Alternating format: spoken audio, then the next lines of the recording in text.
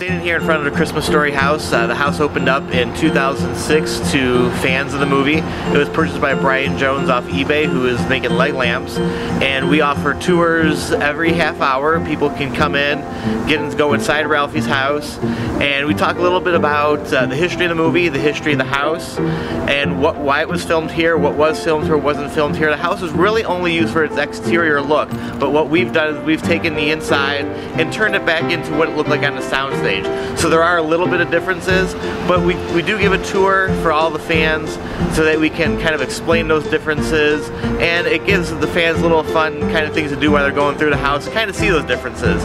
But we had what we did is we spent $250,000 in renovations to bring a larger soundstage back into the original house. In the back of the house there is the Black Bart shed which is still original. Had a little facelift, but yeah, when you when you do go inside you can see all the original woodwork. The mailbox out in front of the house is original from the movie as well.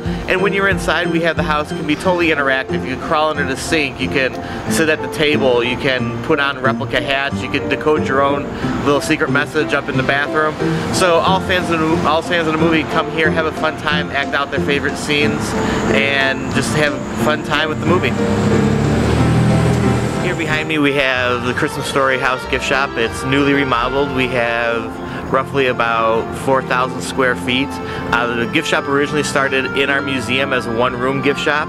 We then expanded into about an 1,100 foot square foot gift shop, and then this uh, the demand of people, the amount of products, uh, then this our our, our crowds um, required us to expand again.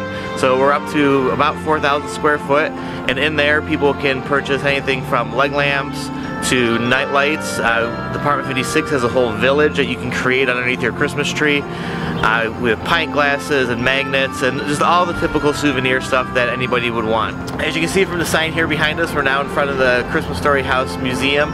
Inside here we have props and costumes from the movie. Uh, we have stuff from uh, the hats that the kids wore, Scott Farkus's hat, Randy's hat, Ralphie's hat.